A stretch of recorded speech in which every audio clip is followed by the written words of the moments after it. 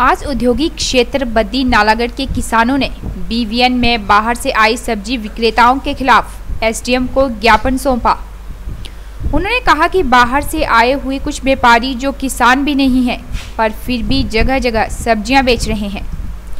इससे यहाँ के स्थानीय किसानों और दुकानदारों को नुकसान हो रहा है। उन्होंने कहा कि बाहर से आए हुए लोगों को सब्ज़ियाँ आदि बेचने पर पाबंदी लगानी चाहिए। और उन्होंने ज्ञापन सौंपते हुए कहा कि अगर बाहर से आए हुए विक्रेताओं पर पाबंदी नहीं लगाई गई तो इनके खिलाफ धरना प्रदर्शन किया जाएगा, जिसकी जिम्मेवारी प्रशासन की होगी। लोकल, हमारे नालागढ़ के व्यापारी, उन्होंने सब्ज़ी मंडी में जो बाहर से सब्ज़ियाँ बेचने व्यापारी आते हैं, उन पर कुछ आपत्तियाँ दर्ज करवाई, जिसके विषय में संबंधित विभागों से रिपोर्ट ली जाएगी और क्या स्थिति है उसके हिसाब से उचित कार्रवाई आज हम सारे किसान भाई यहाँ इकट्ठे हुए हैं नारायण में। हमने एस टी साहब को अपना ज्ञापन सौंपा है क्योंकि जो हमारे किसान भाई बरसात का मौसम है कई बार रास्ते ख़राब है उनके कारण हमारा मंडियों में माल थोड़ा लेट पहुँचता है।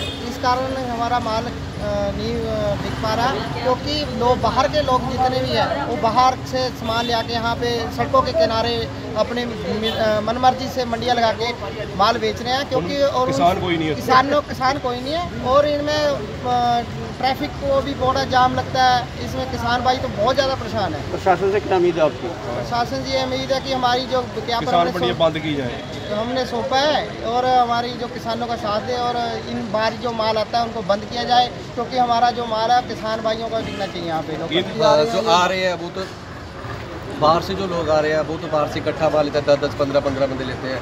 हम जो छोटे अपना जो काम करने वाले हिमाचली जैसे लोकल हमारे भाई साहब जितने बैठे हुए हैं हम सब चाहते हैं कि ये जो बाहर से जो मंडियों से जो सामान आ रहा है उसके ना लेकर के हमारी जो लोकल मंडियाँ हैं, जो हमारा आम जो किसानों का जो सामान है उससे वो हमसे लिया जाए, ताकि हमें उचित मूल्य वगैरह जो भी हमें मिल सके। इससे तो हम, जैसे हमारा जो जो काम हमारा चल रहा है, एक तो बहुत ज़्यादा मतलब कि नीचे हमारा जो सेल काम का बहुत स्तर बहुत ज़्यादा नीचे कर गया अगर हम चाहते हैं कि नहीं हालत तो क्या करेंगे आप? हम आंदोलन करेंगे। सारे किसानों आंदोलन करेंगे जी। हम चाहते हैं कि बस हमारी जो है सबसे हाथ बाँध के गुजारिश है कि जो बाहर से जितने बंदे हैं उनको बंद किया जाए। बाहर की जो मंडियाँ लग रही हैं उनको बंद किया जाए। लोकल बंदों का जो मंडियाँ हम इकट्ठा करके जो बनाना चाहते हैं हम एकजुट होकर के मंडियाँ लगाना चाहते हैं हमारी जो पुकार है वो सुनी जाए।